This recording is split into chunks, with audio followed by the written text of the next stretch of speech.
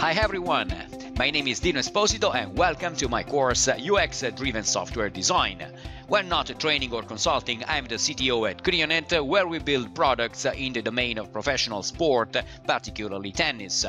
Everyone in the software industry makes jokes about ever-changing requirements, costs constantly underestimated, well, I'm no exception, except that I don't much like these jokes and thought there had to be a better way to approach software development. So in this course, we are going to get the dominating evidence of what makes software development an unpredictable science, turn requirements into visual artifacts for customers, abstract visual artifacts to input and view models, and then use those models rather than domain and data models to drive design and development.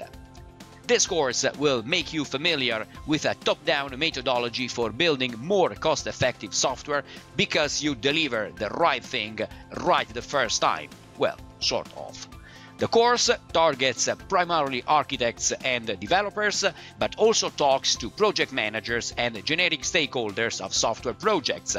The course primarily complements modern software architecture, domain models, CQRS, and event sourcing. I hope you'll want to join me on this journey to discover a new effective way to design software with a UX-driven software design course here at Pluralsight.